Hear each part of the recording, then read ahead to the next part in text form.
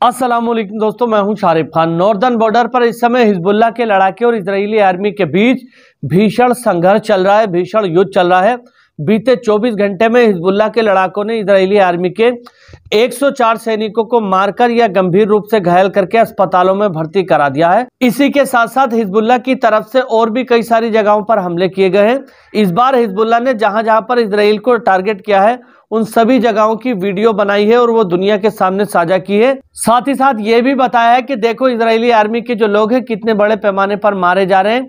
हर हमले के अंदर आठ से दस लोग इसराइल के सैनिक मारे जा रहे हैं। तो आंकड़े 24 घंटे के अगर आपको बताऊँ तो 24 घंटे के अंदर 104 इजरायली सैनिक मारे गए हैं या गंभीर रूप से घायल हो चुके हैं।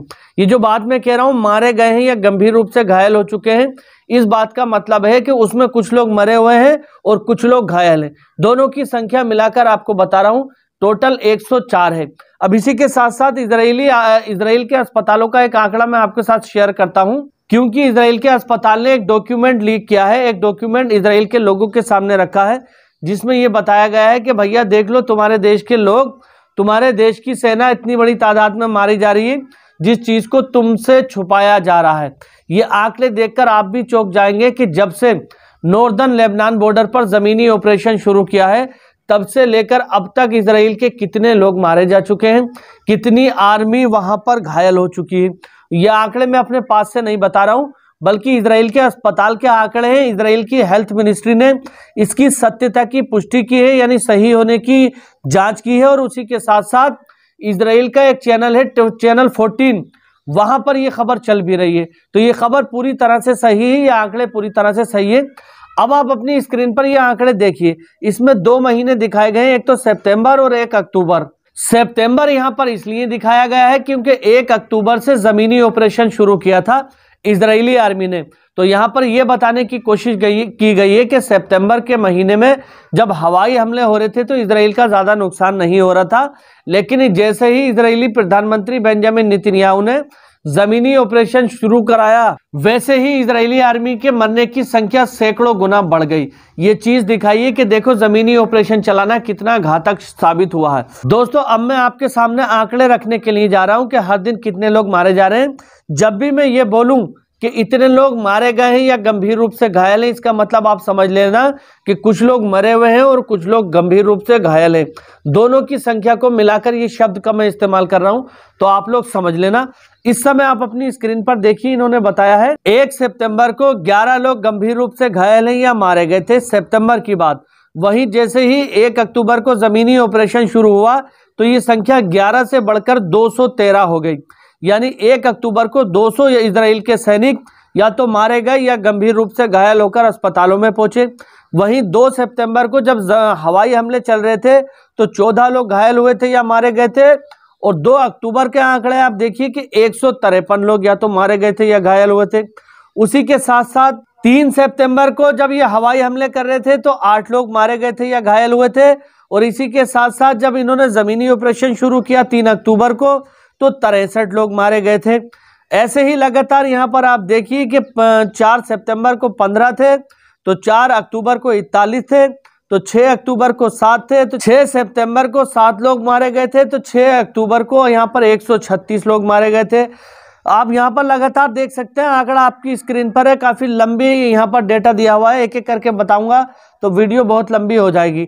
टोटल यहाँ पर आप देख सकते हैं कि लगातार संख्या बढ़ती चली जा रही है, बढ़ती चली जा रही है। अब दोस्तों मैं टोटल पूरा आंकड़ा इसमें आपको बता दूँ तो एक अक्टूबर से लेकर अब तक अक्टूबर के इस महीने में 2601 लोग या तो मारे जा चुके हैं या गंभीर रूप से घायल होकर अस्पतालों में पहुँचे हैं। 2601 लोग। जी हाँ 2601 इसराइल के आर्मी के लोग या तो मारे जा चुके हैं या गंभीर रूप से घायल हैं जो अस्पतालों में पहुँचाए गए हैं। और ये बात इसराइल के अस्पतालों की तरफ़ से कही गई है। ये बात इसराइल की हेल्थ मिनिस्ट्री की तरफ़ से कही गई है। इसराइल के टीवी चैनल 14, 12 और बाकी सारे चैनल पर ये रिपोर्ट चल रही है। तो यहाँ पर आप देख सकते हैं कि हिजबुल्ला के लड़ाकों ने ज़मीन पर इसराइली आर्मी को कितना बड़ा, कितने बड़े ताकत से पीछे हटाया है और मारा है। जबकि इसराइली सरकार की तरफ़ से लगातार इन आंकड़ों को छुपाया जा रहा था। लेकिन आप लोग जानते हैं कि सोशल मीडिया का ज़माना है। इस ज़माने में कहीं ना कहीं से कुछ ना कुछ लीक हो ही जाता है। और इसी के साथ साथ मैं दावे के साथ कहता हूँ कि ये आंकड़े भी कम हैं। इससे ज़्यादा इसराइली आर्मी के लोग वहाँ पर मारे गए हैं और घायल हुए हैं, जिनको छुपाया जा रहा है। लेकिन ये कुछ चंद अस्पतालों का डेटा जो बता रहा है कि अक्टूबर के महीने में 2601 लोग गंभीर रूप से घायल हो चुके हैं या मारे जा चुके हैं।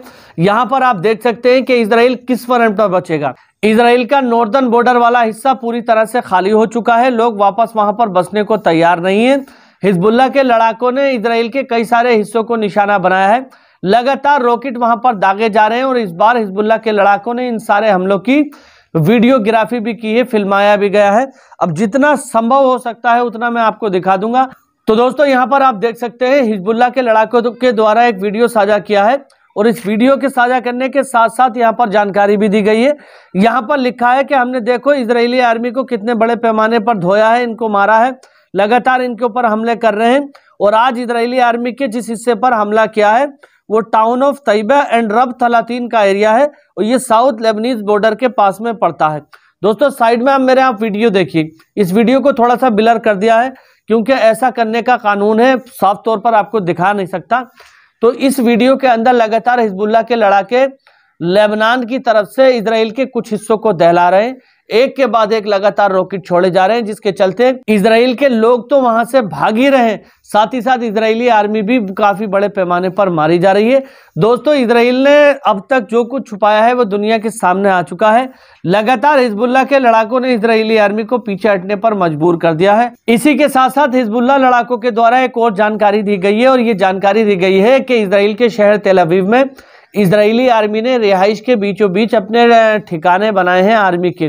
जिनके अंदर उनके फाइटर जेट रखे हुए हैं और इसका थ्री डी बनाकर दुनिया के सामने पेश किया है कि इसराइल आम लोगों को सहारा बनाकर, ढाल बनाकर किस तरह से अपने आप को छुपा रहा है। ये साइड में आप मेरे देखिए, यहाँ पर ये पूरी जानकारी दी हुई है। इस जानकारी को आप पढ़ लीजिए कि कैसे ह्यूमन शील्ड की तरह इस्तेमाल कर रही है इसराइली आर्मी। अब मैं आपको दिखाता हूँ ये वीडियो। इस समय आपकी स्क्रीन पर ये जो वीडियो चल रही है यही शहर तेल अवीव के अंदर मौजूद एक बिल्डिंग की वीडियो है, जिसका थ्री डी बनाकर हिजबुल्ला के लड़ाकों ने दुनिया के सामने रखा है। देखो, इस तरह से यहाँ पर फाइटर जेट रखे हुए हैं। ऐसे यहाँ पर मिसाइलें रखी हुई हैं। इसके नीचे किस तरह से बारूद का बड़ा भंडार है, ये सारी चीज़ें हिजबुल्ला के लड़ाकों के द्वारा लगातार बताई जा रही हैं और कहा यह जा रहा है कि हिजबुल्ला आम लोगों के ऊपर हमला नहीं करता। इसराइल की सेना जानती है कि हिजबुल्ला के लड़ाके या कोई भी इस्लामिक सेना मासूमों को कभी नहीं मारती क्योंकि इस्लाम के अंदर जंग के कुछ कायदे कानून होते हैं जिनको फॉलो करना पड़ता है। औरतों को बच्चों को मासूमों को जंग के अंदर नहीं मारा जाता है। केवल लड़ाई उन लोगों से लड़ी जाती है जो जंगी मैदान में सामने होते हैं। ये लोग जानते हैं कि हिजबुल्ला की तरफ़ से मासूम लोगों के ऊपर हमले नहीं किए जा, किए जाएँगे। यही वजह है कि आम लोगों के रिहाइश के एरियो को ह्यूमन शील्ड की तरह इस्तेमाल कर रहे हैं। इनके फाइटर जेट इन बिल्डिंग से निकलते हैं। लगातार लेबनान बॉर्डर के पास में जाकर बारूद बरसाते हैं और वापस से आकर इनके अंदर छुप जाते हैं। तो हिजबुल्ला की तरफ़ से इस वीडियो को दिखाने का मकसद ये है कि दुनिया को वो बताना चाहता है कि देखो हिजबुल्ला अगर इस बिल्डिंग पर हमला करता है तो दुनिया ये नहीं समझे कि हम आम लोगों के ऊपर हमला कर रहे हैं। हमारा मकसद इसराइली आर्मी के इन तमाम जो, जो ये सिस्टम है एयर डिफेंस फाइटर जेट और बहुत सारी मिसाइल इसको तबाह करना है। लिहाजा हम किसी भी समय इस बिल्डिंग को निशाना बना सकते हैं। इसी के साथ साथ आपने ये बात भी नोट की होगी कि जब जब इसराइल की तरफ़ से ईरान के किसी प्रोक्सी अलायंस या ईरान पर हमला होता है तो हिजबुल्ला के हमलों में तेज़ी आ जाती है। इस बार भी इसराइल की तरफ़ से ईरान पर मामूली सा हमला किया गया है, जिसके बाद हिजबुल्ला की तरफ़ से लगातार हमले किए जा रहे हैं। बीते 24 घंटे के अंदर 104 इजरायली सैनिकों को मारकर अस्पताल में भर्ती करा दिया है। पहुँचा दिया है पोस्टमार्टम हो उनका या जो कुछ भी हो।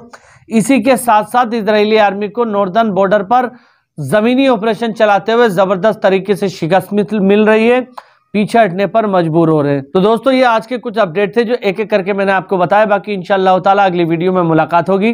तब तक अपने भाई को इजाज़त दीजिए। अगर आप मेरे चैनल पर पहली बार आए तो चैनल को सब्सक्राइब ज़रूर करना और बेल आइकन पर ऑल का बटन भी ज़रूर सेलेक्ट करना। खुदा हाफिज।